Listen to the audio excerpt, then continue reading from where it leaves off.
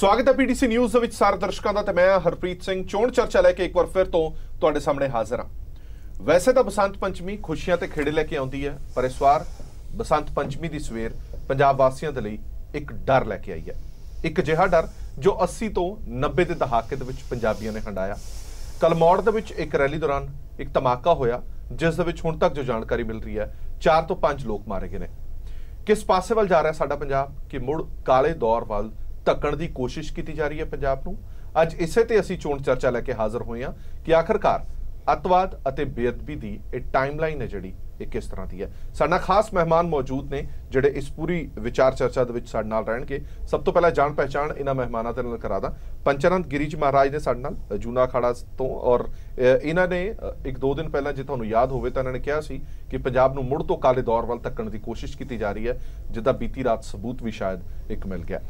S K Verma ਸਾਹਿਬ ਮੌਜੂਦ ਨੇ farmer DGP ਨੇ। ਔਰ ਇਹਨਾਂ ਤੋਂ ਇਹਨਾਂ ਨੂੰ ਅਸੀਂ ਇਸ ਕਰਕੇ ਬੁਲਾਇਆ ਕਿ ਕਿੰਨੀ ਕੁ ਵੱਡੀ ਜ਼ਿੰਮੇਵਾਰੀ ਔਰ ਕਿੰਨੀ ਕੁ ਮੁਸ਼ਕਲ ਹੋ ਜਾਂਦੀ ਹੈ ਪੁਲਿਸ ਦੇ ਲਈ ਜਦੋਂ ਸਰਕਾਰ ਨਾ ਹੋਵੇ। ਔਰ ਏਪੀਐਸ ਮਾਨ ਸਾਹਿਬ ਮੌਜੂਦ ਨੇ ਮੀਡੀਆ ਪਰਸਨੈਲਿਟੀ ਨੇ। ਔਰ ਇਹਨਾਂ ਸਾਰੇ ਮੁੱਦਿਆਂ ਤੇ, ਖਾਸ ਤੌਰ ਤੇ ਜਿਹੜੇ ਭਾਵੇਂ ਉਹ ਇਲੈਕਸ਼ਨ ਨਾਲ ਜੁੜੇ ਹੋਏ ਨੇ ਜਾਂ ਸਿੱਖ ਮੁੱਦੇ ਨੇ, ਇਹਨਾਂ ਦੀ ਚੰਗੀ ਪਕੜ ਹੈ ਇਹਨਾਂ ਸਾਰੇ ਮੁੱਦਿਆਂ ਤੇ। ਮੈਂ ਸਭ ਤੋਂ ਵੱਡਾ ਸਵਾਲ ਪੰਚਾਨੰਦ ਗਿਰੀ ਜੀ, ਮੈਂ ਤੁਹਾਡੇ ਤੋਂ ਜਾਣਨਾ ਚਾਹਨਾ ਬੇਅਦਬੀ ਅਤੇ ਅਤਵਾਦ ਦਾ ਰਿਸ਼ਤਾ ਕੀ ਹੈ? ਦੇਖੋ ਮੈਂ ਪਹਿਲਾਂ ਵੀ ਕਹਿ ਚੁੱਕਿਆ ਕਿ ਸਾਡੇ ਪੰਜਾਬ ਦੇ ਜਿਹੜੇ ਲੋਕ ਵਾਸੀ ਨੇ ਚਾਹੇ ਉਹ ਹਿੰਦੂ ਨੇ ਚਾਹੇ ਸਿੱਖ ਨੇ ਜਿੰਨੇ ਵੀ ਪੰਜਾਬ ਵਾਸੀ ਨੇ ਬਹੁਤ ਟਾਈਮ ਤੋਂ ਬਹੁਤ ਪਾਰਟੀਆਂ ਪੰਜਾਬ ਦੇ ਅੰਦਰ ਹਨ। ਠੀਕ ਹੈ। ਲੇਕਿਨ ਕਦੇ ਵੀ ਇਹ ਜੀ ਘਟਨਾਵਾਂ ਨਹੀਂ ਪੰਜਾਬ 'ਚ ਹੋਈਆਂ। ਚਾਹੇ ਉਹ ਅਸੀਂ 80 ਤੋਂ 93 ਤੱਕ ਦਾ ਵੀ ਅੱਤਵਾਦ ਦਾ ਦੌਰ ਦੇਖੀਏ ਉਸ ਟਾਈਮ ਵੀ ਸਾਡੇ ਕਿਸੇ ਗ੍ਰੰਥਾਂ ਦਾ ਅਪਮਾਨ ਨਹੀਂ ਹੋਇਆ। ਕਿਸੇ ਨੇ ਇੰਨੀ ਗਿਰੀ ਹਰਕਤ ਨਹੀਂ ਕੀਤੀ। ਪਰ ਧਾਰਮਿਕ ਭਾਵਨਾਵਾਂ ਜ਼ਰੂਰ ਭੜਕਾਈ ਹਾਂ ਜਾਂਦੀਆਂ ਰਹੀਆਂ। ਲੇਕਿਨ 2 ਸਾਲ ਤੋਂ ਜਦੋਂ ਤੋਂ ਪੰਜਾਬ ਦੇ ਅੰਦਰ ਆਮ ਆਦਮੀ ਪਾਰਟੀ ਆਈ ਹੈ ਇਹ ਗੱਲ ਬੜੀ ਸਾਰਾ ਪੰਜਾਬ ਜਾਣੂ ਹੈ ਕਿ ਮਲੇਰਕੋਟਲਾ ਦੇ ਅੰਦਰ ਕੁਰਾਨ ਸ਼ਰੀਫ ਦੇ ਮਾਮਲੇ 'ਚ ਉਹਨਾਂ ਦਾ ਐਮਐਲਏ ਪਕੜਿਆ ਜਾਣਾ। ਇਹ ਚੀਜ਼ ਸਾਰਿਆਂ ਦੇ ਸਾਹਮਣੇ ਹੈ। ਔਰ ਗੁਰੂ ਗ੍ਰੰਥ ਸਾਹਿਬ ਦੇ ਅੰਗ ਜਗ੍ਹਾ ਜਗ੍ਹਾ ਪਾੜ ਕੇ ਅਪਮਾਨ ਕਰਨਾ ਖੰਡਿਤ ਕਰਨਾ ਇਹ ਚੀਜ਼ਾਂ ਜਿਹੜੀਆਂ ਹੋਈਆਂ 2 ਸਾਲ ਚ ਹੋਈਆਂ ਮੈਂ ਪਹਿਲਾਂ ਵੀ ਬਹੁਤ ਲਗਾਤਾਰ ਅਸੀਂ ਲੋਕ ਇਹ ਗੱਲ ਕਹਿ ਰਹੇ ਹਾਂ ਜਿਸ ਦਿਨ ਇਹਨਾਂ ਨੇ ਅੰਮ੍ਰਿਤਸਰ ਚ ਮਨੋਫੈਸਟੋ ਆਪਣਾ ਜਾਰੀ ਕੀਤਾ ਸੀ। ਠੀਕ ਹੈ। ਉਸ ਟਾਈਮ ਵੀ ਆਪਣੇ ਮਨੂਫੈਸਟੋ ਨੂੰ ਗੀਤਾ ਕੁਰਾਨ ਬਾਈਬਲ ਗੁਰੂ ਗ੍ਰੰਥ ਸਾਹਿਬ ਦੇ ਬਰਾਬਰ ਦਾ ਕਹਿ ਕੇ ਸਾਡੇ ਗ੍ਰੰਥਾਂ ਦਾ ਅਪਮਾਨ ਕਰਿਆ। ਉਸ ਟਾਈਮ ਵੀ ਅਸੀਂ ਲੋਕਾਂ ਨੇ ਵਿਰੋਧ ਕਰਿਆ ਔਰ ਲੋਕਾਂ ਨੂੰ ਸੁਚੇਤ ਕਰਿਆ। ਲੇਕਿਨ ਹੁਣ ਵੀ ਲਗਾਤਾਰ ਅਸੀਂ ਲੋਕ ਕਹਿ ਰਹੇ ਸੀ ਕਿ ਪੰਜਾਬ ਦੇ ਅੰਦਰ ਇਹ ਆਪਣੀ ਰਾਜਨੀਤੀ ਰੋਟੀਆਂ ਸਿੱਖਣ ਲਈ ਪੰਜਾਬ ਨੂੰ ਪੁਰਾਣੇ ਕਾਲੇ ਦੌਰ ਚ ਲਿਜਾ ਰਹੇ ਨੇ। ਕਿਉਂਕਿ ਕੇਜਰੀਵਾਲ ਮੋਗੇ ਦੇ ਅੰਦਰ ਜਦੋਂ ਅੱਤਵਾਦ ਖਾਲਿਸਤਾਨ ਚੀਫ ਦੇ ਘਰ ਰੁਕਿਆ, ਇੱਕ ਚੀਫ ਮਿਨਿਸਟਰ ਹੋਣ ਤੋਂ ਬਾਵਜੂਦ ਸਾਰੇ ਪ੍ਰੋਟੋਕਾਲ ਨੂੰ ਨੇ ਸਾਈਡ ਤੇ ਰੱਖਤਾ। ਕਿਉਂਕਿ ਉਹ ਸਰਕਟ ਹਾਊਸ ਗੈਸਟ ਹਾਊਸ ਕਹੀਂ ਰੁਕ ਸਕਦਾ ਸੀ ਲੇਕਿਨ ਉੱਥੇ ਉਹ ਜਿਹੜੇ ਅੱਤਵਾਦੀ ਸੀ ਨਹੀਂ ਆ ਸਕਦੇ ਸੀ। ਇਸ ਕਰਕੇ ਉਹ ਕੋਠੀ ਚੁਣੀ ਗਈ। ਔਰ ਮੈਂ ਉਸ ਦਿਨ ਵੀ ਇਹ ਗੱਲ ਕਹੀ ਸੀ ਕਿ ਉੱਥੇ ਗਰਮ ਖਿਆਲੀਆਂ ਨਾਲ ਮੀਟਿੰਗ ਹੋਈ। ਫੰਡਾਂ ਦਾ ਲੈਣ ਦੇਣ ਹੋਇਆ ਕੁਝ ਪਲੈਨਿੰਗ ਹੋਈ। ਔਰ ਅੱਜ ਨਤੀਜਾ ਜਿਹੜੀ ਰਾਤ ਵਾਰਦਾਤ ਇਹ ਸਾਡਾ ਬਲਾਸਟ ਹੈ। ਇਸ ਚੀਜ਼ ਨਾਲ ਕਿਵੇਂ ਜੋੜ ਰਹੇ ਹੋ ਤੁਸੀਂ? ਬਿਲਕੁਲ ਕਿਉਂ ਜੋੜ ਰਹੇ ਹੋ? ਮੈਂ ਬਿਲਕੁਲ ਕਲੀਅਰ ਇਸ ਲਈ ਜੋੜ ਰਿਹਾ ਕਿ ਅਸੀਂ ਲਗਾਤਾਰ ਜਿਹੜੀ ਜਦੋਂ ਐਮਪੀ ਇਲੈਕਸ਼ਨ ਵੀ ਹੋਇਆ ਉਸ ਟਾਈਮ ਵੀ ਖਾਲਿਸਤਾਨੀਆਂ ਦੀ ਸਟੇਜਾਂ ਤੇ ਜਾ ਜਾ ਕੇ ਉਸਨੇ ਖਾਲਿਸਤਾਨ ਨੂੰ ਬੜਾਵਾ ਦੇਣ ਦਾ ਪੂਰਾ ਪ੍ਰਯਾਸ ਕਰਿਆ। ਜਿਹੜੀ ਪਰਸੋਂ ਉਹਦੇ ਘਰ ਦੇ ਅੰਦਰ ਠਹਿਰਨ ਤੋਂ ਬਾਅਦ ਵੀ ਔਰ ਇੱਕ ਗੱਲ ਬਹੁਤ ਸਪਸ਼ਟ ਹੋ ਹੈ ਕਿ ਪੂਰਾ ਦੇਸ਼ ਜਾਣਦਾ ਇੰਟੈਲੀਜੈਂਸ ਜਾਣਦੀ ਹੈ ਸਾਰੇ ਜਾਣਦੇ ਨੇ ਕਿ ਉਹ ਖਾਲਿਸਤਾਨ ਦਾ ਚੀਫ ਰਿਹਾ ਉਸ ਤੇ ਪਰਚੇ ਦਰਜ ਹੋਏ ਨੇ। ਇਸ ਤੋਂ ਬਾਵਜੂਦ ਆਮ ਆਦਮੀ ਪਾਰਟੀ ਦਾ ਇੱਕ ਬਹੁਤ senior leader Sanjay clean chit ਦੇ ਰਿਹਾ ਕਿ ਉਹ ਅੱਤਵਾਦੀ ਨਹੀਂ ਹੈ। ਉਹਨਾਂ ਨੂੰ ਬਚਾ ਕਰਨ ਦੀ ਪ੍ਰਯਾਸ ਕਰ ਰਿਹਾ ਇਸ ਕਰਕੇ ਇਹ ਜਿਹੜੀ ਘਟਨਾ ਹੈ ਇਹ ਬਿਲਕੁਲ ਮੈਂ ਸਰਕਾਰ ਤੋਂ ਵੀ ਕੇਂਦਰ ਤੋਂ ਵੀ ਇਹ ਮੰਗ ਕਰਾਂਗਾ ਕਿ ਜਿੰਨੇ ਵੀ ਆਮ ਆਦਮੀ ਪਾਰਟੀ ਦੇ ਲੀਡਰ ਨੇ ਔਰ ਜਿਹੜੇ ਟੈਰਰਿਸਟ ਨੇ ਇਹਨਾਂ ਦੇ ਸਾਰੇ ਫੋਨਾਂ ਦੀ ਡਿਟੇਲ ਜਾਂਚ ਕੀਤੀ ਜਾਵੇ ਕਿ ਉਹਨਾਂ ਦੀ ਇਸ ਦੌਰਾਨ ਕਿਹੜੇ ਕਿਹੜੇ ਸੰਗਠਨ ਕਿੱਥੇ ਕਿੱਥੇ ਬਾਹਰਲੀਆਂ ਵਿਦੇਸ਼ਾਂ 'ਚ ਕਾਲਾਂ ਹੋਈਆਂ ਕਿਹੜੀ ਕਿਹੜੀ ਕਾਲਾਂ 'ਚ ਗੱਲ ਹੋਈ ਕਿਹੜੇ ਕਿਹੜੇ ਨੰਬਰ ਨੇ ਜਾਂਚ ਹੋਣੀ ਚਾਹੀਦੀ ਹੈ ਕਿਉਂਕਿ ਪੰਜਾਬ ਬੜੇ ਨਾਜ਼ੁਕ ਦੌਰ 'ਚ ਇਸ ਟਾਈਮ ਗੁਜ਼ਰ ਰਿਹਾ ਹੈ। ਪੰਜਾਬ ਦੇ ਲੋਕ ਹਿੰਦੂ ਸਿੱਖ ਭਾਈਚਾਰਾ ਕਾਇਮ ਰੱਖਣਾ ਚਾਹੁੰਦੇ ਆ ਪੰਜਾਬ 'ਚ ਦੁਬਾਰਾ ਉਹ ਕਾਲੇ ਦੌਰ ਨਹੀਂ ਚਾਹੁੰਦੇ ਲੇਕਿਨ ਚੰਦ ਇਹਨਾਂ ਲੋਕਾਂ ਦੀਆਂ ਕਿਉਂਕਿ ਇੱਕ ਗੱਲ ਬੜੀ ਸਪਸ਼ਟ ਤੁਸੀਂ ਕਹਿ ਕੇ ਅਸੀਂ ਇਹਨੂੰ ਜੋੜ ਕੇ ਕਿਉਂ ਦੇਖ ਰਹੇ ਹਾਂ? ਜਦੋਂ ਜਦੋਂ ਕਿਸੇ ਵੀ ਰਾਜਨੀਤੀ ਦੇ ਅਸੀਂ ਪੁਰਾਣੇ ਟਾਈਮ ਦੇ ਦੌਰ ਨੂੰ ਵੀ ਦੇਖੀਏ ਤਾਂ ਕੁਝ ਰਾਜਨੀਤੀ ਲੋਕਾਂ ਨੇ ਪੰਜਾਬ ਨੂੰ ਅੱਗ ਵੱਲ ਝੋਕਿਆ। ਠੀਕ ਹੈ। ਔਰ ਉਹ ਰਾਜਨੀਤੀ ਲੋਕਾਂ ਦੇ ਉਹ ਅੱਤਵਾਦ ਹੱਥੋਂ ਬਾਹਰ ਹੋ ਗਿਆ। ਇਹੀ ਹਾਲਾਤ ਅੱਜ ਨੇ ਚਲੋ। ਕਿ ਇਸ ਟਾਈਮ ਉਹਨਾਂ ਨੂੰ ਇਹ ਬੜਾਵਾ ਦੇ ਰਹੇ ਨੇ। ਬੜਾਵਾ ਦੇਣ ਤੋਂ। ਬਾਅਦ ਅਗਰ ਇਹਨਾਂ ਦੇ ਹੱਥੋਂ ਬਾਹਰ ਹੋ ਗਿਆ ਤਾਂ ਉਹ ਸੰਤਾਪ ਪੰਜਾਬ ਨਿਵਾਸੀਆਂ ਨੂੰ ਭੁਗਤ- ਭੁਗਤਣਾ ਪਊਗਾ। ਨਿਰਦੋਸ਼ਾਂ ਦਾ ਖੂਨ ਹੁਣ ਜਿਹੜੇ ਮਰੇ ਨੇ ਇੱਕ ਬੱਚਾ ਮਰਿਆ ਚਾਰ ਲੋਕ ਹੋਰ ਮਰੇ ਨੇ 15 ਜ਼ਖਮੀ ਨੇ ਉਹਨਾਂ ਦਾ ਕੀ ਲੈਣ ਦੇਣ ਸੀ ਉਹ ਵਿਚਾਰੇ ਨਿਰਦੋਸ਼ ਸੀ। ਉਹ ਬੇਮੌਤ ਮਾਰੇ ਗਏ ਇਹਨਾਂ ਲੋਕਾਂ ਦੀ ਰਾਜਨੀਤੀ ਕਰ ਠੀਕ ਹੋਰ ਮਹਿਮਾਨ ਸਾਡੇ ਨਾਲ ਸੀ ਪੌਲ ਸਿੰਘ ਵੀ ਜੁੜ ਗਏ ਨੇ ਰਿਟਾਇਰਡ ਆਈਜੀਪੀ ਨੇ ਪੰਜਾਬ ਪੁਲਿਸ ਦੇ। ਪੌਲ ਸਾਹਿਬ ਤੁਹਾਡਾ ਵੀ ਬਹੁਤ-ਬਹੁਤ ਸਵਾਗਤ ਹੈ। ਮਾਨ ਸਾਹਿਬ ਮੈਂ ਤੁਹਾਡੇ ਤੋਂ ਪੁੱਛਣਾ ਚਾਹਨਾ ਪੌਲ ਸਾਹਿਬ ਤੋਂ ਪਹਿਲਾਂ। ਲਗਾਤਾਰ ਅਸੀਂ ਕੁਝ ਘਟਨਾਵਾਂ ਪਿੱਛੇ ਜੇ ਦੇਖੀਆਂ ਨੇ ਸ੍ਰੀ ਗੁਰੂ ਗ੍ਰੰਥ ਸਾਹਿਬ ਜੀ ਦੀ ਬੇਦਬੀ ਦੀਆਂ ਘਟਨਾਵਾਂ ਇੱਕ ਤੋਂ ਬਾਅਦ ਇੱਕ ਹੋਈਆਂ। ਉਸ ਤੋਂ ਬਾਅਦ ਆ ਹੁਣ ਜਿਹੜਾ ਬਲਾਸਟ ਹੋਇਆ ਜਾਂ ਫਿਰ ਇਸ ਤੋਂ ਪਹਿਲਾਂ ਇੱਕ ਤਾਜੀ ਜਿਹੜੀ ਘਟਨਾ ਸੀਗੀ ਜਿਹਦੇ ਵਿੱਚ ਸ੍ਰੀ ਗੁਰੂ ਗ੍ਰੰਥ ਸਾਹਿਬ ਜੀ ਦੀ ਬੇਅਦਬੀ ਛੋਟੇ ਛੋਟੇ ਬੱਚਿਆਂ ਨੇ ਕੀਤੀ ਇਹ ਸਾਰੀਆਂ ਚੀਜ਼ਾਂ ਨੂੰ ਕੀ ਅਸੀਂ ਇੱਕ ਤੋਂ ਬਾਅਦ ਇੱਕ ਜੋੜ ਕੇ ਦੇਖ ਸਕਦੇ ਹਾਂ ਜਾਂ ਅਸੀਂ ਇਹ ਕਹਿ ਸਕਦੇ ਹਾਂ ਕਿ ਕੋਇਨਸੀਡੈਂਟ ਨਹੀਂ ਜੀ ਨਹੀਂ ਸਭ ਤੋਂ ਪਹਿਲਾਂ ਤਾਂ ਤੁਹਾਡਾ ਧੰਨਵਾਦ ਤੁਸੀਂ ਸਟੂਡੀਓ ਦੇ ਵਿੱਚ ਮੇਰੇ ਵਿਚਾਰ ਜਾਣਨ ਲਈ। ਮੈਨੂੰ ਸੱਦਿਆ ਪਰ ਇੱਕ ਇਸ ਗੱਲ ਨੂੰ ਮੈਂ ਹੋਰ ਐਂਗਲ ਤੋਂ ਵੇਖਦਾ। ਕਿਉਂਕਿ ਸਭ ਤੋਂ ਪਹਿਲਾ ਜਿਹੜਾ ਸਵਾਲ ਇਹ ਹੈ ਕਿ ਜਦੋਂ ਕੋਈ ਵੀ ਕੰਮ ਹੁੰਦਾ ਉਹਦਾ ਫਾਇਦਾ ਤੇ ਨੁਕਸਾਨ ਕਿਹਨੂੰ ਹੈ? ਦੋਨੋਂ ਚੀਜ਼ਾਂ ਦੇਖੀਆਂ ਜਾਂਦੀਆਂ। ਦੋਨੇ ਚੀਜ਼ਾਂ ਵੇਖੀਆਂ ਜਾਂਦੀਆਂ ਤੇ ਜਿਹੜੀ ਪੋਲੀਟੀਕਲ ਐਕਟੀਵਿਟੀ ਆ ਉਹਦੇ ਵਿੱਚ ਕੋਈ ਵੀ ਸਟੇਟਮੈਂਟ ਜਾਂ ਕੋਈ ਵੀ ਬਿਆਨ ਕੋਈ ਵੀ ਪੋਲੀਟੀਕਲ ਬੰਦਾ ਇਸ ਕਰਕੇ ਨਹੀਂ ਦਿੰਦਾ ਹੈਗਾ ਕਿ ਉਹਦਾ ਨੂੰ ਨੁਕਸਾਨ ਹੋਵੇ। ਸੋ ਜਿਸ ਤਰੀਕੇ ਨਾਲ ਪੰਜਾਬ ਦੇ ਵਿੱਚ ਬੇਅਦਬੀਆਂ ਹੋਈਆਂ ਨੇ ਪਿਛਲੇ ਦੌਰ ਦੇ ਵਿੱਚ ਉਹਦਾ ਜਿੱਦਾਂ ਸਿੱਧੇ ਸਿੱਧੇ ਤੌਰ ਤੇ ਸਰਕਾਰ ਨੂੰ ਦੋਸ਼ੀ ਬਣਾਇਆ ਗਿਆ ਜਾਂ ਸ਼੍ਰੋਮਣੀ ਅਕਾਲੀ ਦਲ ਦੇ ਉੱਤੇ ਇਹ ਚੀਜ਼ ਸਿੱਟੀ ਗਈ। ਸ਼੍ਰੋਮਣੀ ਅਕਾਲੀ ਦਲ ਦੇ ਆਪੋਜੀਸ਼ਨ ਕਰਨ ਦੇ ਲਈ ਤੁਹਾਡੇ ਕੋਲ ਬੜੇ ਬੜੇ ਮੁੱਦੇ ਹੋ ਸਕਦੇ ਨੇ। ਪਰ ਪਰ ਇਸ- ਪਰ ਇਸ ਗੁਰੂ ਗ੍ਰੰਥ ਸਾਹਿਬ ਦੇ ਮਸਲੇ ਦੇ ਉੱਤੇ ਜਿਸ ਤਰੀਕੇ ਦੀ ਰਾਜਨੀਤੀ ਕੀਤੀ ਗਈ ਹੈ ਇਹ ਬੜੀ ਗਲਤ ਹੈ। ਤੇ ਇੱਥੇ ਮੇਰਾ ਇੱਕ ਮੰਨਣਾ ਜ਼ਰੂਰ ਹੈ ਕਿ ਸਾਨੂੰ ਇੱਕ ਚੀਜ਼ ਸੋਚਣੀ ਪੈਣੀ ਹੈ। ਸਾਡੇ ਜਿਹੜੇ ਵਿਊਅਰਸ ਨੇ ਇਹਨਾਂ ਨੂੰ ਵੀ ਸੋਚਣੀ ਚਾਹੀਦੀ ਹੈ ਕਿ ਬੇਅਦਬੀਆਂ ਦਾ ਸਭ ਤੋਂ ਵੱਧ ਫਾਇਦਾ ਕਿਹਨੂੰ ਹੋਇਆ? ਇਹਨਾਂ ਬੇਅਦਬੀਆਂ ਦਾ ਫਾਇਦਾ ਪੋਲੀਟੀਕਲੀ ਜਾਂ ਸਮਾਜਿਕ ਤੌਰ ਤੇ ਕੌਣ ਲੋਕ ਲੈ ਰਹੇ ਨੇ? ਤੇ ਜਿਹੜੀ ਪੰਜਾਬ ਦੇ ਵਿੱਚ ਇਸ ਵੇਲੇ ਇੱਕ ਸਿਧਾਂਤਕ ਮੈਂ ਸਮਝਦਾ ਕਿ ਕ੍ਰਾਈਸਿਸ ਚੱਲ ਰਿਹਾ ਜਦੋਂ। ਬਾਬਾ ਗਿਰੀ ਸਾਹਿਬ ਨੇ ਗੱਲ ਕੀਤੀ ਹੈ ਇਹਨਾਂ ਦੀ ਕੁਝ ਗੱਲ ਨਾਲ ਮੈਂ ਸਹਿਮਤ ਹਾਂ ਕੁਝ ਨਾਲ ਨਹੀਂ ਵੀ ਸਹਿਮਤ ਕਿ ਪੰਜਾਬ ਦੇ ਵਿੱਚ ਕੋਈ ਵੀ ਐਕਟੀਵਿਟੀ ਹੁੰਦੀ ਆ ਅਸੀਂ ਸਿੱਧੇ ਤੌਰ ਤੇ ਜਾਂ ਖਾਲਿਸਤਾਨੀਆਂ ਦੇ ਨਾਂ ਲਗਾ ਦਿੰਦੇ ਆ ਜਾਂ ਪਾਕਿਸਤਾਨ ਦੇ ਲਗਾ ਦਿੰਦੇ ਆ ਮੈਂ ਇਸ ਨੂੰ ਵੇਖਦਾ ਕਿ ਪੋਜ਼ਿਟਿਵ ਤੇ 네ਗੇਟਿਵ ਪਾਵਰਸ ਨੇ ਇੱਕ ਪਾਵਰ ਹੈ ਜਿਹੜੀ ਪ੍ਰੋਸੈਸ ਚਾਹੁੰਦੀ ਆ ਕਿ ਪ੍ਰੋਗਰੈਸ ਚਾਹੁੰਦੀ ਆ ਪੰਜਾਬ ਦੇ ਵਿੱਚ। ਇੱਕ ਡਿਸਟਰਕਟਿਵ ਪਾਵਰ ਹੈ। ਜਦੋਂ ਖਾਲਿਸਤਾਨ ਦੀ ਗੱਲ ਹੁੰਦੀ ਆ ਉਹਦੇ ਵਿੱਚ ਖਾਲਸਾ ਸ਼ਬਦ ਵੀ ਆਉਂਦਾ। ਖਾਲਸਾ ਰੈਡੀਕਲ ਵੀ ਹੈ ਪਰ ਰੈਡੀਕਲ ਹੋਣਾ ਮਾੜੀ ਗੱਲ ਨਹੀਂ ਪਰ ਸਵਾਲ ਇਹ ਹੈ ਕਿ ਰੈਡੀਕਲ ਕਿਸ ਡਾਇਰੈਕਸ਼ਨ ਦੇ ਵਿੱਚ ਹੈ ਕੀ। ਤੁਸੀਂ ਰੈਡੀਕਲ ਆਪਣੇ ਕੰਟਰੀ ਨੂੰ ਆਪਣੇ ਦੇਸ਼ ਨੂੰ ਆਪਣੇ ਪੰਜਾਬ ਨੂੰ ਆਪਣੀ ਕੌਮ ਨੂੰ ਅੱਗੇ ਲੈ ਕੇ ਜਾਣ ਦੇ ਲਈ ਹੋ ਜਾਂ ਤੁਸੀਂ ਮਨੁੱਖਤਾ ਦਾ ਘਾਣ ਕਰਦੇ ਹੋ ਜਿਹੜਾ ਇਹ ਇਹ ਐਕਟ ਹੋਇਆ ਹੈ, ਜਿਹੜੇ ਚ ਬੇਗੁਨਾਹਾਂ ਦੀ ਜਾਨ ਗਈ ਹੈ। ਇਹ ਇਹ ਨਾ ਤਾਂ ਬੰਦੇ ਧਾਰਮਿਕ ਨੇ ਤੇ ਨਾ ਹੀ ਇਹਨਾਂ ਦਾ ਕੋਈ ਪੋਲੀਟੀਕਲ ਵਿਜ਼ਨ ਹੈ ਤੇ ਇੱਥੇ ਇੱਕ ਮੈਂ ਫੈਕਟ ਜ਼ਰੂਰ ਦੇਣਾ ਚਾਹਾਂਗਾ ਜਿਹੜਾ ਕਿ ਮੇਰੇ ਖਿਆਲ ਚ ਸਾਰਿਆਂ ਨੂੰ ਨੋਟ ਵੀ ਕਰਨਾ ਚਾਹੀਦਾ। ਜੀ। ਪੰਜਾਬ ਦੇ ਵਿੱਚ 1978 ਦੇ ਵਿੱਚ ਅੱਗ ਲੱਗਣੀ ਸ਼ੁਰੂ ਹੋਈ ਠੀਕ ਹੈ। ਗਿਰੀ ਜੀ ਤੁਸੀਂ ਤਾਂ ਸੀਨੀਅਰ ਹੋ ਤੁਹਾਨੂੰ ਪਤਾ ਹੋਏਗਾ ਸਾਰਾ ਉਸ ਵੇਲੇ ਇਸ ਚੀਜ਼ ਦੀ ਗਾਜ਼ ਜਿਹੜੀ ਨਿਰੰਕਾਰੀ ਜਿਹੜੇ ਉਸ ਵੇਲੇ ਕਾਂਡ ਹੋਇਆ ਉਹਨਾਂ ਦੇ ਉੱਤੇ ਡਿੱਗੀ ਤੇ ਜਿਹੜੇ ਲੋਕੀ ਜਿਹੜੇ ਸਿੰਘ ਸ਼ਹੀਦ ਹੋਏ ਉਹ ਅਖੰਡ ਕੀਰਤਨੀ ਜਥੇ ਨੂੰ ਬਿਲੋਂਗ ਕਰਦੇ ਸੀ। ਠੀਕ ਹੈ। ਤੇ ਦੇਖੋ ਅੱਜ ਆਈਡੀਓਲੋਜੀਕਲੀ ਕ੍ਰਾਈਸਿਸ ਦੀ ਹੱਦ ਕਿ ਅੱਜ ਉਹੀ ਅਖੰਡ ਕੀਰਤਨੀਏ ਜਥੇ ਦਾ ਜਿਹੜਾ ਚੀਫ ਨੇ ਆਰਪੀ ਸਿੰਘ ਉਹ ਮੁਲਾਕਾਤ ਕਰ ਰਹੇ ਨੇ ਕੇਜਰੀਵਾਲ ਦੇ ਨਾਲ ਤੇ ਉਹੀ ਕੇਜਰੀਵਾਲ ਉੱਥੇ ਜਾ ਕੇ ਨਿਰੰਕਾਰੀਆਂ ਦੇ ਅੱਗੇ ਨਤਮਸਤਕ ਹੋ ਰਹੇ ਨੇ।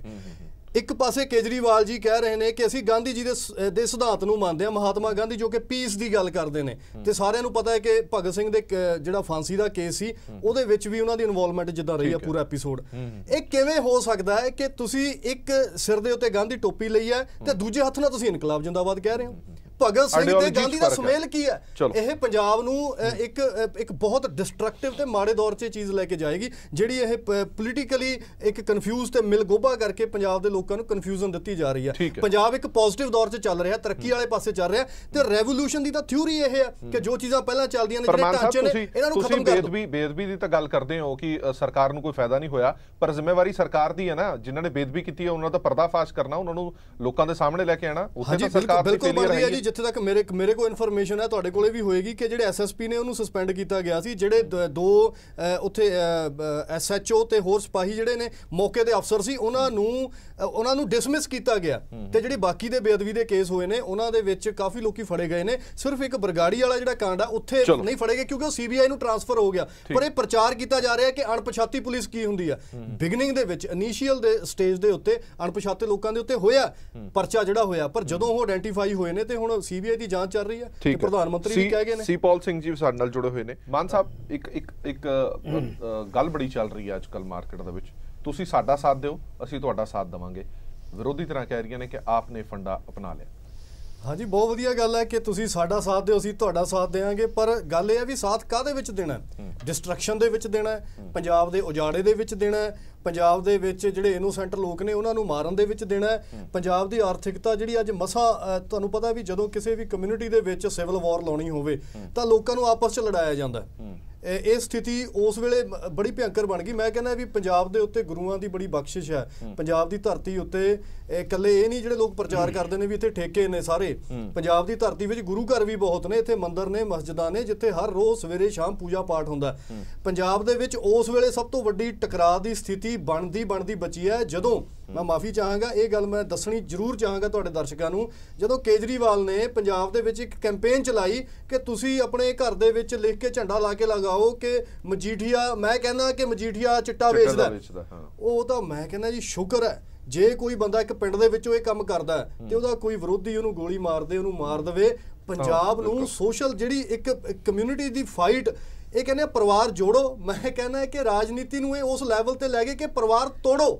ਅੱਜ ਲੋਕਾਂ ਦੇ ਆਪਸ 'ਚ ਜਿਹੜੇ ਦੇਖੋ ਸਰਕਾਰਾਂ ਬਣਦੀਆਂ ਨੇ ਟੁੱਟਦੀਆਂ ਨੇ ਰਾਜ ਆਉਂਦੇ ਨੇ ਜਾਂਦੇ ਨੇ ਪਰ ਸਵਾਲ ਇਹ ਹੈ ਕਿ ਤੁਹਾਡੀ ਜਿਹੜੀ ਤੁਹਾਡਾ ਜਿਹੜਾ ਕੰਟਰੀ ਹੈ ਜਿਹੜੀ ਤੁਹਾਡਾ ਦੇਸ਼ ਹੈ ਜਿਹੜੀ ਤੁਹਾਡੀ ਤੁਹਾਡਾ ਖਿੱਤਾ ਹੈ ਉਹ ਕਿਸ ਪਾਸੇ ਨੂੰ ਵੱਧ ਰਿਹਾ ਅੱਜ ਪੰਜਾਬ ਦੇ ਵਿੱਚ ਲੋਕ ਕਹਿੰਦੇ ਨੇ ਕਿ ਪੰਜਾਬ ਦੇ ਵਿੱਚ ਬੇਰੁਜ਼ਗਾਰੀ ਕਿੱਦਾਂ ਖਤਮ ਹੋਏਗੀ? ਜਦੋਂ ਇੱਥੇ ਇਨਫਰਾਸਟ੍ਰਕਚਰ ਖੜਾ ਹੋਏਗਾ ਜਦੋਂ ਇੱਥੇ ਵਧੀਆ ਵਿਕਾਸ ਹੋਏਗਾ ਸੜਕਾਂ ਬਣਨਗੀਆਂ ਤਾਂ ਹੀ ਇੱਥੇ ਕੰਪਨੀਆਂ ਆਉਣਗੀਆਂ ਤੇ ਉਹ ਜੌਬਾਂ ਦੇਣਗੀਆਂ। ਜਿਹੜੀ ਇਨਕਲਾਬ ਦੀ ਥਿਊਰੀ ਹੈ ਮੈਂ ਇਹਦਾ ਵਿਰੋਧ ਕਰ ਰਿਹਾ ਕਿਉਂਕਿ ਇਹ ਅਖੌਤੀ ਇਨਕਲਾਬ ਹੈ।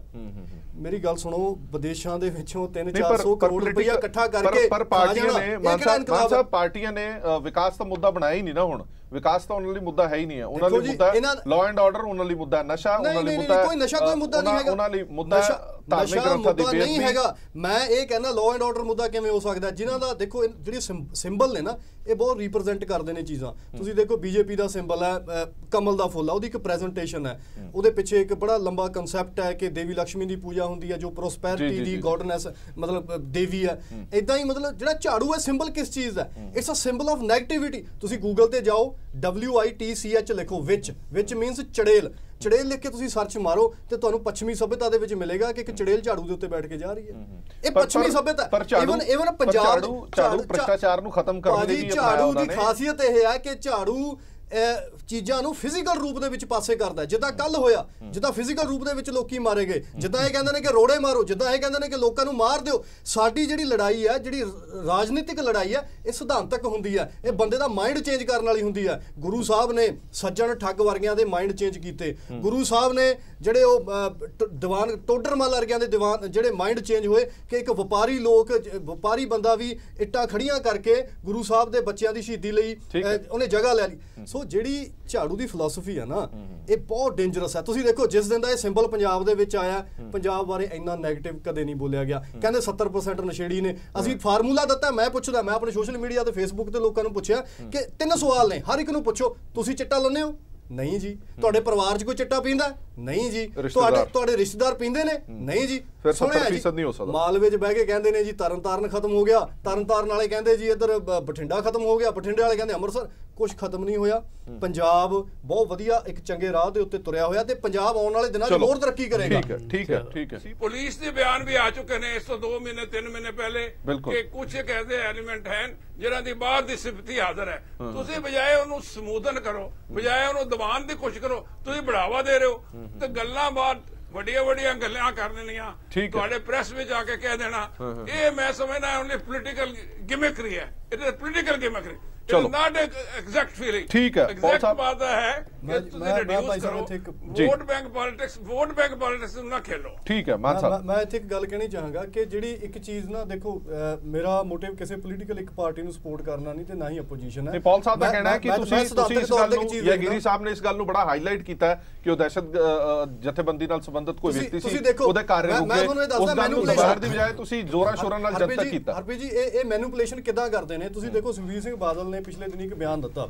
ਅਕਾਲੀ ਦਲ ਦੇ ਪ੍ਰਧਾਨ ਨੇ ਸਿੱਖਾਂ ਦੀ ਸਭ ਤੋਂ ਵੱਡੀ ਪਾਰਟੀ ਆ ਤੇ ਪੰਜਾਬ ਦੇ ਵਿੱਚ ਦੋ ਵਾਰ ਸੱਤਾ ਦੇ ਵਿੱਚ ਰਹਿ ਚੁੱਕੀ ਹੈ ਠੀਕ ਹੈ। 96 ਸਾਲ ਪੁਰਾਣੀ ਪਾਰਟੀ ਹਾਂ। ਉਹ ਇਹ ਕਹਿੰਦੇ ਨੇ ਕਿ ਇਹਨਾਂ ਦੀ ਐਸੋਸੀਏਸ਼ਨ ਹੋਈ ਹੈ ਕੁਝ ਖਾਸ ਉਹਨਾਂ ਲੋਕਾਂ ਦੇ ਨਾਲ ਜਿਹੜੇ ਸੁਖ ਸ਼ਾਂਤੀ ਭੰਗ ਕਰਨੀ ਚਾਹੁੰਦੇ ਨੇ। ਇਹਦੇ ਜਵਾਬ ਦੇ ਵਿੱਚ ਆਮ ਆਦਮੀ ਪਾਰਟੀ ਇੱਕ ਬਿਆਨ ਦੇ ਰਹੀ ਹੈ ਕਿ Sukhbir Singh Badal is branding all NRIs as a terrorist and he. Never said that ਇਹ ਸਿੱਖਾਂ ਨੂੰ ਵੀ ਪੰਜਾਬੀਆਂ ਨੂੰ ਵੀ ਆਪਸ ਦੇ ਵਿੱਚ ਇੱਕ ਭਰਾ ਮਾਰੂ ਜੰਗ ਦੇ ਵਿੱਚ ਲੈ ਕੇ ਜਾ ਰਹੇ ਨੇ। ਇਹਨਾਂ ਦੇ ਜਿੰਨੇ ਵਿਦੇਸ਼ਾਂ 'ਚ ਕੈਂਪੇਨ ਹੋ ਰਹੇ ਨੇ ਜਿਸ ਤਰੀਕੇ ਨਾਲ ਇਹਨਾਂ ਨੇ ਬ੍ਰਾਂਡਿੰਗ ਕੀਤੀ ਹੈ ਉਸ ਤਰੀਕੇ ਨਾਲ ਇਹ ਆਪਸ ਦੇ ਵਿੱਚ ਵੀ ਹਿੰਦੂ ਸਿੱਖ ਭਾਈਚਾਰੇ ਦੀ ਗੱਲ ਤਾਂ ਦੂਰ ਦੀ ਗੱਲ ਹੈ ਉਸ ਤੋਂ ਵੀ ਆਪਸ ਦੇ ਵਿੱਚ ਸਿੱਖਾਂ ਨੂੰ ਲੜਾਉਣ ਦੇ ਲਈ ਇਹਨਾਂ ਨੇ ਜਿਹੜੀਆਂ ਮੈਨੂਪੂਲੇਸ਼ਨਸ ਕੀਤੀਆਂ ਨੇ ਜਿਸ ਕਿਸਮ ਦੇ ਬਿਆਨਬਾਜ਼ੀ ਕਰਦੇ ਨੇ ਜਿਸ ਕਿਸਮ ਦੀਆਂ ਇਹਨਾਂ ਨੇ ਚੀਜ਼ਾਂ ਕੀਤੀਆਂ ਨੇ ਉਹ ਵੀ ਨਿੰਦਣਯੋਗ ਨੇ। ਚਲੋ। ਮੈਂ ਵਾਪਸ ਆਵਾਂਗਾ ਸਾਡੇ ਕੋਲ ਸਮਾਂ ਘੱਟ ਹੈ ਸਾਨੂੰ ਇੱਕ ਹੋਰ ਛੋਟੀ ਜਿਹੀ ਬ੍ਰੇਕ ਲਈ ਰੁਕਣਾ ਪੈ ਰਿਹਾ ਠੀਕ ਹੈ। ਮੈਂ ਮਾਨ ਸਾਹਿਬ ਇੱਕ ਇੱਕ ਹੋਰ ਜਿਹੜੀ ਅੱਜ ਕੱਲ ਚਰਚਾ ਬਣੀ ਹੋਈ ਹੈ ਰੁਪਿੰਦਰ ਤੇ ਜਸਵਿੰਦਰ ਸ਼ਾਇਦ ਤੁਹਾਨੂੰ ਨਾਮ ਯਾਦ ਹੀ ਹੋਣਗੇ। ਇਹ ਉਹ ਦੋ ਸ਼ਖਸ ਨੇ ਜਿਨ੍ਹਾਂ ਨੂੰ ਮੁਲਜ਼ਮ ਬਣਾਇਆ ਗਿਆ ਸੀ ਬਰਗਾੜੀ ਹਨਾ ਜਿਹੜਾ ਸ੍ਰੀ ਗੁਰੂ ਗ੍ਰੰਥ ਸਾਹਿਬ ਜੀ ਦੀ ਬੇਦਬੀ ਹੋਈ ਸੀ। ਪਰ ਉਹਨਾਂ ਦਾ ਆਮ ਆਦਮੀ ਪਾਰਟੀ ਦੇ ਵਿੱਚ ਰਲਣਾ ਫੂਲਕਾ ਸਾਹਿਬ ਦੀ ਹਾਜ਼ਰੀ ਦੇ ਵਿੱਚ ਰਲਣਾ ਅਸੀਂ ਕੋਈ ਕਿੰਤੂ ਪਰੰਤੂ ਨਹੀਂ ਕਰ ਸਕਦੇ। ਕੋਈ ਵੀ ਕਿਸੇ ਵੀ ਪਾਰਟੀ ਦੇ ਵਿੱਚ ਜਾ ਸਕਦਾ। ਪਰ ਵਾਰ-ਵਾਰ ਅਜਿਹੀਆਂ ਚੀਜ਼ਾਂ ਇਸ਼ਾਰਾ ਕਰਦੀਆਂ ਨੇ ਕਿ ਤੁਸੀਂ ਮਾਹੌਲ ਖਰਾਬ ਕਰਨਾ ਚਾਹੁੰਦੇ ਹੋ ਜਾਂ ਜਿਹੜੇ ਲੋਕ ਜਿਨ੍ਹਾਂ ਤੇ ਕੋਈ ਇਲਜ਼ਾਮ ਹੈ ਭਾਵੇਂ ਉਹ ਪ੍ਰੂਫ ਹੋਏ ਨੇ ਜਾਂ ਨਹੀਂ ਹੋਏ ਉਹਨਾਂ ਲੋਕਾਂ ਨੂੰ ਪਾਰਟੀ ਦੇ ਵਿੱਚ ਸ਼ਾਮਲ ਕਰਨਾ ਕਿੰਨਾ ਕੁ ਜ਼ਰੂਰੀ ਸੀ? ਬਹੁਤ ਤੁਸੀਂ ਬੜਾ ਪਿਆਰਾ ਸਵਾਲ ਪੁੱਛਿਆ ਤੇ ਮੇਰੇ ਖਿਆਲ 'ਚ ਐਡਰੈਸ ਕਰਨਾ ਵੀ ਜ਼ਰੂਰੀ ਹੈ। ਕੋਈ ਅਕਾਲੀ ਤੋਂ ਕਾਂਗਰਸੀ ਬਣਦਾ ਹੈ ਕਾਂਗਰਸੀ ਤੋਂ ਬੀਜੇਪੀ ਜਾਂਦਾ ਹੈ ਉਹਦੀ ਆਈਡੀਓਲੋਜੀ ਕੀ ਉਹ ਪੁਰਾਣੀ ਛੱਡ ਕੇ ਗਏ ਨੇ ਜਾਂ ਉਹ ਮੌਕਾ ਪ੍ਰਸਤ ਨੇ ਇੱਕ ਤਾਂ ਇਹ ਸਵਾਲ ਹੈ। ਦੂਜੀ ਗੱਲ ਜਿੱਦਾਂ ਕਿਹਾ ਕਿ ਪੰਜਾਬ ਦੇ ਵਿੱਚ ਇਸ ਵੇਲੇ ਆਈਡੀਓਲੋਜੀਕਲ ਕ੍ਰਾਈਸਿਸ ਚੱਲ ਰਿਹਾ। ਇਸ ਕ੍ਰਾਈਸਿਸ ਦੀ ਦੇਖੋ ਸਭ ਤੋਂ ਤੁਸੀਂ ਨਾਂ ਹੀ ਲੈ ਲਿਆ ਉਹਨਾਂ ਦਾ ਚਲੋ ਮੈਂ ਵੀ ਨਾਂ ਲੈ ਦਿੰਦਾ ਕਿ ਹਾਈਟ ਹੈ ਇਸ ਐਗਜ਼ਾਮਪਲ ਸਭ ਤੋਂ ਵੱਡੀ ਐਗਜ਼ਾਮਪਲ ਹੈ। ਫੂਲਕਾ ਸਾਹਿਬ ਜਿਹੜੇ 84 ਦੇ ਕਾਂਗਰਸ ਨੇ ਜਿਸ ਕਿਸਮ ਦੇ ਸਾਡੇ ਨਾਲ ਕਤਲੇਆਮ ਕੀਤੇ ਉਹਦੇ ਖਿਲਾਫ ਇੱਕ ਪਾਸੇ ਕੇਸ ਲੜਨ ਦਾ ਤੇ ਜਸਟਿਸ ਲੈਣ ਦਾ ਸਿੰਬੋਲਿਕ ਜਸਟਿਸ ਲੈਣ ਦਾ ਦਾਵਾ ਕਰਦੇ ਨੇ।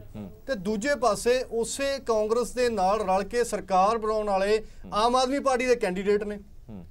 ਇਹ ਇੱਕ ਸਿਧਾਂਤਕ ਮਤਲਬ ਕਿ ਬਿਲਕੁਲ ਮੈਂ ਸਮਝਦਾ ਕਨਫਿਊਜ਼ਨ ਦੀ ਹਾਈਟ ਹੈ। ਦੂਜੀ ਗੱਲ ਜਿਹੜੀ ਤੁਸੀਂ ਬਰਗਾੜੀ ਦੇ ਉਹ ਦੋ ਮੁੰਡਿਆਂ ਦੀ ਗੱਲ ਕੀਤੀ। ਜੀ। ਪਹਿਲੀ ਗੱਲ ਤਾਂ ਇਹ ਹੈ ਕਿ ਇਹ ਕੇਸ ਇਨਵੈਸਟੀਗੇਟ ਹੋ ਰਿਹਾ ਸੀਬੀਆਈ ਕੋਲੇ ਆ ਸੋ ਇਹਦੇ ਤੇ ਮੈਂ ਜ਼ਿਆਦਾ ਨਹੀਂ ਕਹਿ ਸਕਦਾ ਪਰ ਫੈਕਟ ਮੈਂ ਜ਼ਰੂਰ ਤੁਹਾਨੂੰ ਸਾਰਿਆਂ ਦੱਸ ਸਕਦਾ। ਜੀ। ਫੈਕਟ ਇਹ ਨੇ ਕਿ ਜਦੋਂ ਤਰਨ ਤਾਰਨ ਦੇ ਵਿੱਚ ਇੱਕ ਸਿੰਘ ਫੜਿਆ ਗਿਆ ਤੇ ਉਸੇ ਗੁਰਦੁਆਰੇ ਦਾ ਗ੍ਰੰਥੀ ਨਿਕਲਿਆ ਅਮਰਧਾਰੀ ਸਿੰਘ ਜਿਹਨੇ ਹਾਂ। ਬੇਅਦਬੀ ਕੀਤੀ। ਤੇ ਉਹਨੇ ਪਿੰਡ ਦੇ ਸਾਹਮਣੇ ਮੰਨ ਵੀ ਲਈ ਗੱਲ ਇਹ। ਹੋਰ ਵੀ ਕਈ ਇਦਾਂ ਦੇ ਕੇਸ ਹੋਏ ਜਿਹੜੇ ਸੋਲਵ ਹੋਏ ਗੁਰਦੁਆਰੇ ਦੇ ਲੋਕੀ ਨਿਕਲੇ। ਪਰ ਇਹ ਖਾਸ ਮੌਕੇ ਦੇ ਉੱਤੇ ਜਿਹੜੇ ਇਹ ਦੋ ਭਰਾਵਾਂ ਦੇ ਉੱਤੇ ਜਦੋਂ ਕੇਸ ਸਾਹਮਣੇ ਆਇਆ ਤਾਂ ਸਾਰੇ ਸਿੱਖ ਪ੍ਰਚਾਰਕਾਂ ਨੇ ਇਸ ਗੱਲ ਦਾ ਵਿਰੋਧ ਕੀਤਾ ਕਿ ਅੰਮ੍ਰਿਤਧਾਰੀ ਸਿੰਘ ਕਿਵੇਂ ਬੇਅਦਬੀ ਕਰ ਸਕਦੇ ਨੇ? ਜੇ ਤਰਨ ਤਾਰਨ ਵਾਲੇ ਕਰ ਸਕਦੇ ਨੇ ਤਾਂ ਮੈਂ ਨਹੀਂ ਕਹਿੰਦਾ ਇਹਨਾਂ ਨੇ ਕੀਤੀ ਹੈ ਪਰ ਇਹਨਾਂ ਨੂੰ ਲਾਈ ਡਿਟੈਕਟਰ ਟੈਸਟ ਨੂੰ ਕਿਉਂ ਅਪੋਜ਼ ਕੀਤਾ ਗਿਆ? ਜਦੋਂ ਪੰਜਾਬ ਪੁਲਿਸ ਨੇ ਬਾਕੀ ਸਾਰੇ ਕੇਸ ਸੁਲਝਾਰ ਲਏ ਨੇ ਤਾਂ ਇਸ ਕੇਸ ਨੂੰ ਸੀਬੀਆਈ ਕੋਲੇ ਟਰਾਂਸਫਰ ਕਰਨ ਦੀ ਡਿਮਾਂਡ ਕਿਉਂ ਕੀਤੀ ਗਈ? ਕੀ ਇਹ ਮੁੱਦੇ ਨੂੰ ਡਿਲੇ ਕਰਨ ਦੀ ਗੱਲ ਤਾਂ ਨਹੀਂ ਸੀ? ਤੇ ਹੋਰ ਵੱਡੀ ਗੱਲ ਇਹ ਹੈ ਕਿ ਜਿਹੜੀਆਂ ਵੀ ਤਾਕਤਾਂ, ਜਿਹੜੀਆਂ ਵੀ ਧਿਰਾਂ ਉਸ ਵੇਲੇ ਉੱਭਰ ਕੇ ਸਾਹਮਣੇ ਲੀਡਰਸ਼ਿਪ ਦੇ ਤੌਰ ਤੇ ਆਈਆਂ, ਅੱਜ ਉਹ ਸਾਰੀਆਂ ਤਾਕਤਾਂ ਦੀ ਜਿਹੜੀਆਂ ਮੀਟਿੰਗਸ ਨੇ, ਉਹ ਕੇਜਰੀਵਾਲ ਸਾਹਿਬ ਨਾਲ ਹੋ ਰਹੀਆਂ ਨੇ। ਉਹ ਮੁੰਡੇ ਜਿਨ੍ਹਾਂ ਨੂੰ ਕਿਹਾ ਸੀ ਕਿ ਪੰਜਾਬ ਪੁਲਿਸ ਨੇ ਟੌਰਚਰ ਕੀਤਾ, ਉਹਨਾਂ ਦੀਆਂ ਰੀੜ ਦੀਆਂ ਹੱਡੀਆਂ ਤੋੜ ਦਿੱਤੀਆਂ, ਸਿੱਧੇ ਖੜ ਨਹੀਂ ਸਕਦੇ।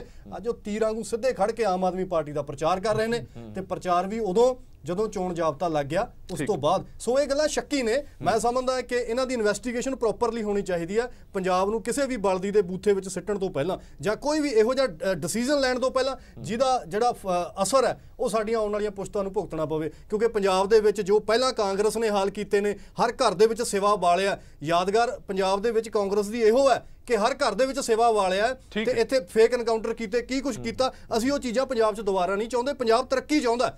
ਅੱਜ ਪੰਜਾਬ ਇੱਕ ਇੰਟਰਨੈਸ਼ਨਲ ਪੋਲਿਟਿਕਸ ਦਾ ਹਿੱਸਾ ਹੈ। ਪੰਜਾਬ ਦੇ ਵਿੱਚੋਂ ਜਿਹੜੇ ਬ੍ਰੇਨ ਬਾਹਰਲੇ ਦੇਸ਼ਾਂ 'ਚ ਪੜਨ ਗਏ ਨੇ America Canada Australia Commonwealth countries 'ਚ ਮੁੰਡੇ ਗਏ ਨੇ ਅੱਜ ਉਹ ਗਰੋ ਕਰ ਰਹੇ ਨੇ। They want to come back to Punjab. They want to invest here they want to see our Punjab growing ਇਸੇ ਵਜ੍ਹਾ ਤੇ ਦੁਆਬਾ ਚੋਂ ਜਾਂ ਮਾਲਵਾ ਤੋਂ ਗਏ ਨੇ ਠੀਕ ਹੈ। ਡਿਸਸੈਟੀਸਫਾਈਡ ਨੇ ਜਾਂ ਤਾਂ ਉਹਦੇ ਬੱਚਿਆਂ ਮੈਂ- ਨੂੰ ਮੈਂ- ਮੈਂ। ਸਮਝ ਗਿਆ ਤੁਹਾਡਾ ਇੱਥੇ- ਇੱਥੇ ਇਹਨਾਂ ਦੀ ਗੱਲ ਦੇ ਉੱਤੇ ਮੈਂ ਛੋਟਾ-। ਛੋਟਾ ਜਿਹਾ comment ਕਰਨਾ ਚਾਹਾਂਗਾ।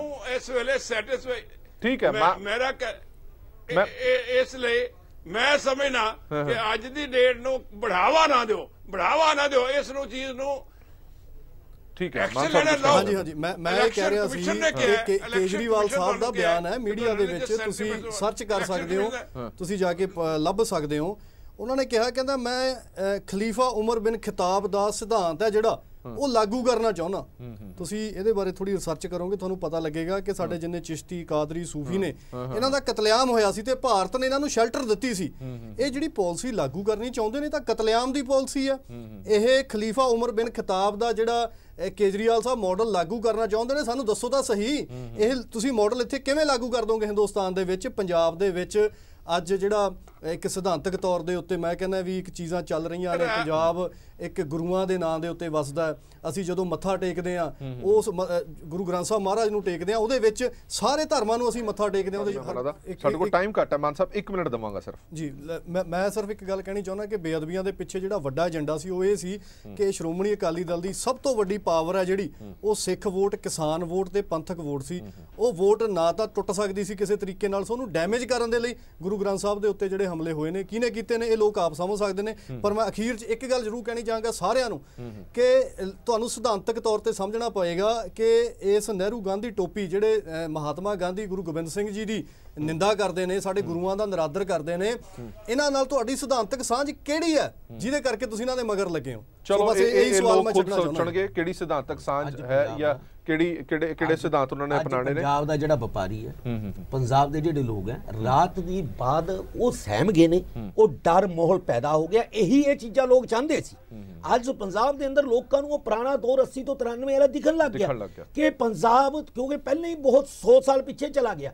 ਇਹ ਹੁਣ ਫੇਰ ਪੰਜਾਬ ਨੂੰ ਉਸ ਵੱਲ ਜਿਹੜਾ ਧਕੇਲ ਰਿਹਾ ਬਹੁਤ ਖਤਰਨਾਕ ਹੈ। ਇਸ ਕਰਕੇ ਕੇਂਦਰ ਨੂੰ ਦਖਲਅੰਦਾਜ਼ੀ ਕਰਕੇ ਇਲੈਕਸ਼ਨ ਕਮਿਸ਼ਨ ਨੂੰ ਸਖਤ ਕਾਰਵਾਈ ਕਰਕੇ ਇਹਨਾਂ। ਦੀਆਂ ਸਾਰੀਆਂ ਡਿਟੇਲਾਂ ਖੰਗਾਲ ਕੇ ਪਰਚੇ ਦਰਜ ਹੋਣੇ ਚਾਹੀਦੇ ਸਾਡੀ ਮੰਗ ਹੈ। ਕੇਂਦਰ ਸਰਕਾਰ ਕੇਂਦਰ ਸਰਕਾਰ ਤੇ ਭਾਵੇਂ ਇਲੈਕਸ਼ਨ। ਕਮਿਸ਼ਨ ਹੈ ਉਹਨਾਂ ਦੀ ਜ਼ਿੰਮੇਵਾਰੀ ਤਾਂ ਹੈ ਹੀ ਹੈ ਪਰ ਉਸ ਤੋਂ ਵੀ ਵੱਧ ਜ਼ਿੰਮੇਵਾਰੀ ਸਾਡੇ ਸਾਰਿਆਂ ਦੀ ਹੈ ਕਿਉਂਕਿ ਜਿਹੜੇ ਜਿਹੜੀ ਤਾਕਤ ਸਾਨੂੰ ਸਾਰਿਆਂ ਨੂੰ ਮਿਲੀ ਹੋਈ ਹੈ ਉਹੀ ਸਰਕਾਰਾਂ ਨੂੰ ਬਣਾਉਂਦੀ ਹੈ ਸੋ ਆਪਣੇ ਵੋਟ ਹੱਕ ਦਾ ਇਸਤੇਮਾਲ ਹੈ ਜਿਹੜਾ ਉਹ ਬੜਾ ਹੀ ਹੁਣ ਸੋਚ ਪਰਖ ਕੇ ਕਰਨਾ ਪਵੇਗਾ ਔਰ ਜਿਸ ਤਰ੍ਹਾਂ ਸਾਰੇ ਮਹਿਮਾਨਾਂ ਨੇ ਕਿਹਾ ਕਿ ਡਰ ਸਹਿਮ ਜ਼ਰੂਰ ਪੈਦਾ ਕੀਤਾ ਗਿਆ ਪਰ ਡਰਨ ਦੀ ਲੋੜ ਨਹੀਂ ਆਪਣੇ ਵੋਟ ਹੱਕ ਦਾ ਇਸਤੇਮਾਲ ਹੈ ਜਿਹੜਾ ਉਹ ਠੋਕ ਕੇ ਜ਼ਰੂਰ ਕਰਨਾ ਚਾਹੀਦਾ ਬਹੁਤ ਬਹੁਤ ਧੰਨਵਾਦ ਸਾਰੇ ਮਹਿਮਾਨਾਂ ਦਾ ਵੀ। ਔਰ ਦੇਸ਼ ਦੁਨੀਆ ਦੀ ਬਾਕੀ ਖਬਰਾਂ ਬਣੇ ਰਹੋ ਨਿਊਜ਼ ਤੱਕ